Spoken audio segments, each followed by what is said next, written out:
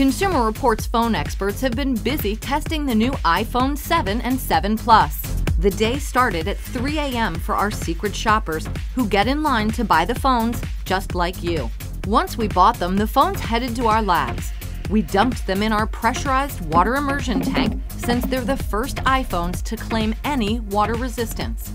Apple says the 7s can survive the IP67 international standard for water resistance, which is 1 meter of water for 30 minutes. Our preliminary results show an iPhone 7 and 7 Plus are working, but we'll check them again to confirm those results. The new iPhones got a lot of attention because they don't have a headphone jack. Instead, Apple gives you earbuds that plug into the phone's lightning charging port. If you're partial to your old headphones, Apple also supplies an adapter, and we found you won't lose any sound quality using it.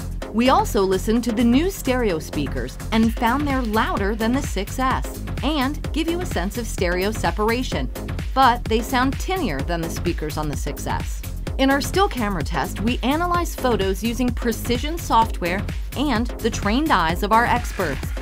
We found the main camera using the 1x lens on the phones we tested today is comparable to the iPhone 6S. That includes low light, which Apple claimed would be better.